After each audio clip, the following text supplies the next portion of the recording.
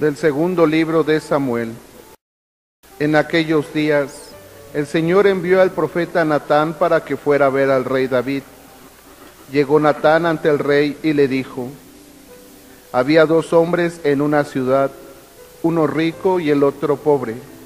El rico tenía muchas ovejas y numerosas reses. El pobre solo tenía una ovejita que se había comprado. La había criado personalmente y ella había crecido con él y con sus hijos. Comía de su pan, bebía de su vaso y dormía junto a él. La quería como a una hija.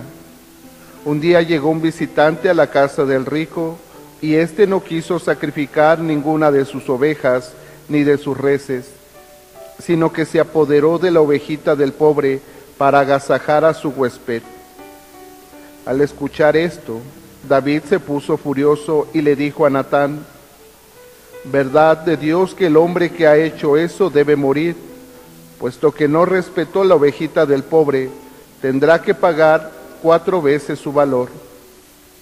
Entonces Natán le dijo a David, ese hombre eres tú, por eso te manda decir el Señor, la muerte por espada no se apartará nunca de tu casa, pues me has despreciado al apoderarte de la esposa de Urías, elitita, y hacerla tu mujer.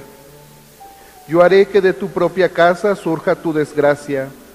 Te arrebataré a tus mujeres ante tus ojos y se las daré a otro que dormirá con ellas en pleno día. Tú lo hiciste escondidas, pero yo cumpliré esto que te digo ante todo Israel y a la luz del sol. David le dijo a Natán, he pecado contra el Señor.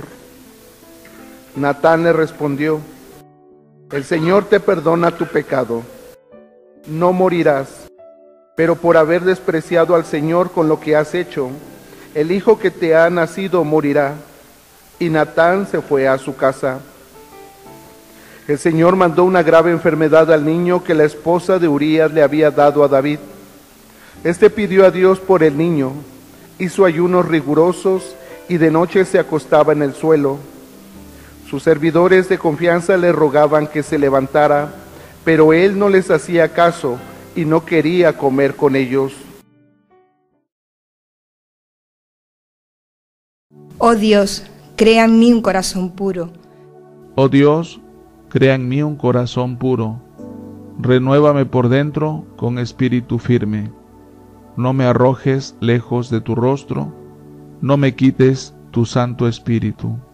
Oh Dios, crea en mí un corazón puro. Devuélveme la alegría de tu salvación.